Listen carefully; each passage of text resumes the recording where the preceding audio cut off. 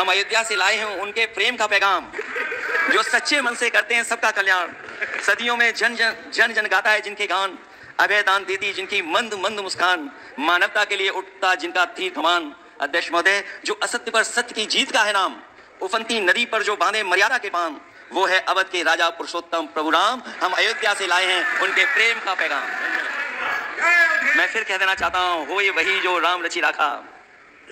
ये है उसका फैसला जिसकी लाठी में नहीं होती आवाज़। जो करते थे किसी को लाने का दावा, वो है खुद किसी के सहारे के लाचार। कि आवाम ने तोड़ दिया हुकूमत का गुरूर। दरबार तो लगा है बड़ा गमगीन, में बेनूर है पर। अध्यक्ष महोदय, दरबार तो लगा है, पर बड़ा गमगीन गमगीन बेनूर है। और पहली बार ऐसा लग रहा है, हारी हुई सरकार विराजमान है। जनता कह रही है, चलने वाली नहीं सरकार। अध्यक्ष महोदय, जनता कह रही है, चलने वाली नहीं, ये गिरने वाली सरकार है। और क्योंकि ऊपर से जुड़ा कोई तार नहीं, नीचे कोई आधार नहीं, अधर में जो है अटकी हुई, वो तो कोई सरकार नहीं।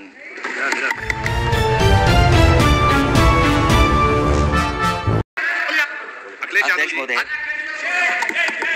अध्यक्ष महोदय, मैं सबसे पहले आपका धन्यवाद देना चाहता हूँ। कि आपने मुझे अपनी पार्टी की तरफ़ से राष्ट्रपति जी के भाषण बोलने का मौका दिया है। अध्यक्ष जी, सत्ता पक्ष और विपक्ष दोनों लगातार अपनी बात रख रहे हैं। मैं सबसे पहले अध्यक्ष जी, आपको और आपके साथ साथ सभी चुने हुए सांसदों को मैं बधाई और शुभकामनाएँ देना चाहता हूँ। साथ ही साथ मैं सबसे पहले देश के उन सभी समझदार और ईमानदार मतदाताओं को धन्यवाद जिन्होंने लोकतंत्र को एक तंत्र बनाने से रोका। चुनाव के समय पर अध्यक्ष जी ऐसा कहा गया कि 400 पार। मैं समझदार जनता को फिर एक बार धन्यवाद दूँगा। और मैं कुछ कहना चाहता हूँ कि अवाम ने तोड़ दिया हुकूमत का गुरूर। दरबार तो लगा है बड़ा गमगीन में बेनूर है पर। अध्यक्ष महोदय दरबार तो लगा है पर बड़ा गमगीन गमगीन बेनूर है। और पहली बार ऐसा लग रहा है, हारी हुई सरकार विराजमान है। जनता कह रही है, चलने वाली नहीं सरकार। अध्यक्ष महोदय, जनता कह रही है, चलने वाली नहीं, ये गिरने वाली सरकार है। और क्योंकि ऊपर से जुड़ा कोई तार नहीं, नीचे कोई आधार नहीं, अधर में जो है अटकी हुई, वो तो कोई सरकार नहीं। दरअसल, पूरा इंडिया समझ गया है कि इंडिया ही प्रो इंडिया है। इस चुनाव में इंडिया अलायंस की नैतिक जीत हुई है। ये पीडीए इंडिया की सकारात्मक राजनीति, पॉलिटिक्स जो पॉजिटिव है, पॉजिटिव पॉलिटिक्स की जीत हुई है। ये इंडिया पीडीए की सोशल जस्टिस मुहिम की विक्ट्री है। 2024 का परिणाम, हम इंडिया वालों के लिए ज़िम्मेदारी से भरा पैगाम भी है। और अगर हम यूँ कहें, अध्यक्ष महोदय कि 15 अगस्त 1947 अगर उपनिवेशिक राजनीति से आज़ादी का दिन था तो 4 जून 2024 देश के लिए सांप्रदायिक राजनीति से आज़ादी का दिन रहा। सांप्रदायिक राजनीति के अंत और सामुदायिक राजनीति की शुरुआत है, जहाँ सांप्रदायिक राजनीति अंत हुआ है। वहीं सामुदायिक राजनीति की शुरुआत हुई है। सबसे अच्छी बात हुई यह है कि इस चुनाव में सांप्रदायिक राजनीति हमेशा के लिए हार हो गई। कहने को सरकार ये कहती है कि ये फिफ्थ लार्जेस्ट इकोनॉमी बन गई है।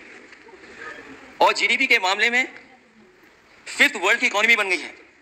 लेकिन अध्यक्ष मोदी सरकार क्यों छिपाती है? कि अगर ये हमारी सबसे लार्जेस्ट इकोनॉमी अगर हम पाँचवें नंबर पर हैं तो हमारे देश की पर कैपिटा इनकम प्रति व्यक्ति आय हमारे किस स्थान पर पहुँची है?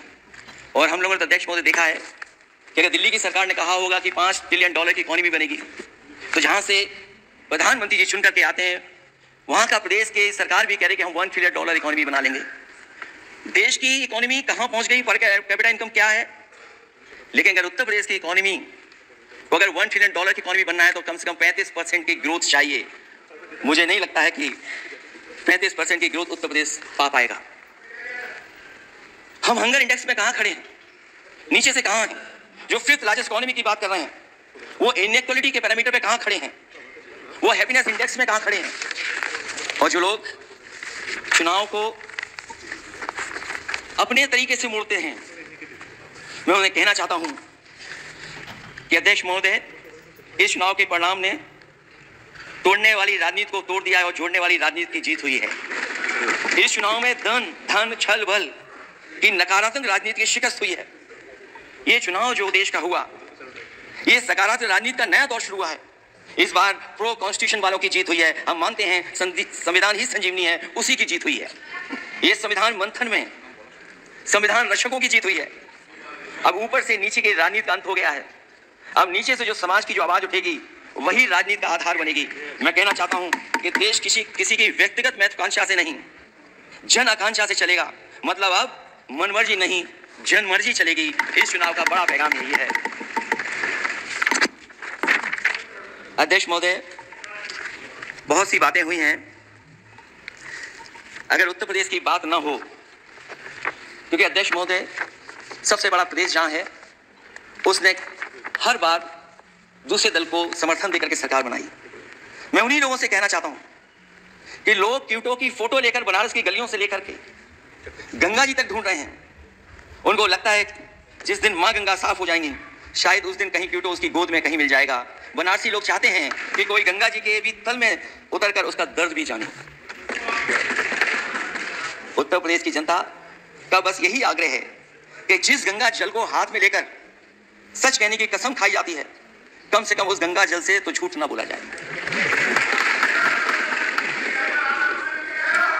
जहाँ विकास के नाम पर खरबों रुपए की लूट का राज खोलते भ्रष्टाचार के गड्ढे प्रदेश का नाम खराब कर रहे हैं, वहीं पहली बारिश में ही टपकती हुई छत और गिर चुकी स्टेशन की दीवार बेईमानी की निशानी बन गई है।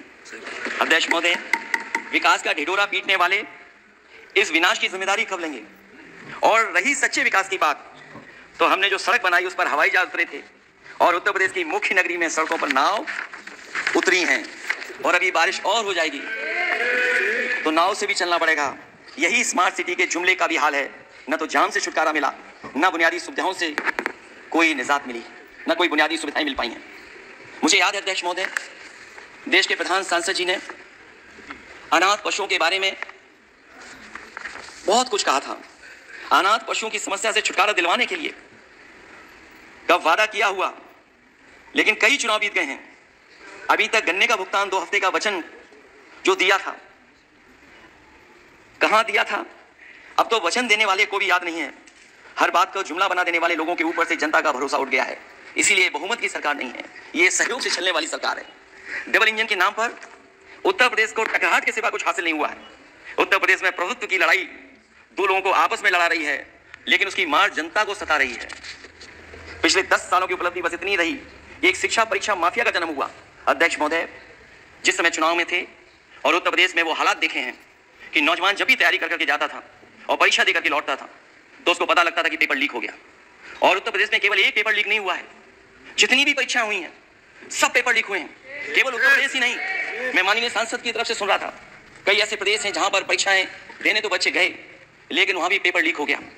और अभी जब चार जून को रिज़ल्ट आया, उसके बाद जो बात उठी है, देश की सबसे प्रेस्टिजियस परीक्षा, उसका भी पेपर लीक हो गया। और आखिरकार ये पेपर लीक हो क्यों रहा है? सच्चाई तो ये है कि ये सरकार पेपर लीक इसलिए करा रही है कि सरकार नौकरी नहीं देना चाहती, रोज़गार नहीं देना चाहती, उन नौजवानों का भविष्य नहीं बनने देना चाहती। पिछले दस सालों की उपलब्धि बस इतनी रही है कि एक शिक्षा परीक्षा माफिया का जन्म हुआ है, जिसने तथाकथित अमृत काल में युवाओं के भविष्य की आशाओं को ही ज़रूर आशाओं को ही जहर दे दिया है, जो सरकार उम्मीद को मार दे। अयोध्या में हुई हार पर भी अखिलेश यादव ने केंद्र सरकार को घेरा। अयोध्या में विपक्षीय जीत देश के परिपक्व मतदाताओं और लोकतांत्रिक समझ की जीत है। अखिलेश ने कविता सुनाकर बीजेपी पर कटाक्ष करते हुए कहा हुई वहीं जो राम रचि रखा, यह है उसका फैसला। जिसकी लाठी में नहीं होती आवाज़, जो करते थे किसी को लाने का दावा, वो है खुद किसी के सहारे का लाचार। आवाम ने हुकूमत का गुरूर तोड़ा। ये चलने वाली नहीं, गिरने वाली सरकार है।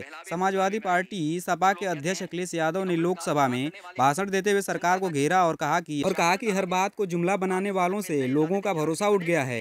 इसीलिए बहुमत की सरकार नहीं, सहयोग से चलने वाली सरकार है। पेपर लीक मुद्दे पर बोलते हुए समाजवादी पार्टी के सांसद अखिलेश यादव ने कहा, पेपर लीक क्यों हो रहे हैं? सच तो यह है कि सरकार ऐसा इसीलिए कर रही है ताकि उसे युवाओं को नौकरी न देनी पड़े। पिछले दस सालों की उपलब्धि इतनी रही है कि शिक्षा माफिया का जन्म हुआ है। सरकार को आशा का प्रतीक होना चाहिए, निराशा का नहीं। बाकी आज के लिए बस इतना ही। मेरा नाम है यासित और आप देख रहे हैं सोशल भारत टीवी। मैं जानता हूँ सत्ता पक्ष बैठे वाले लोग समझ गए होंगे।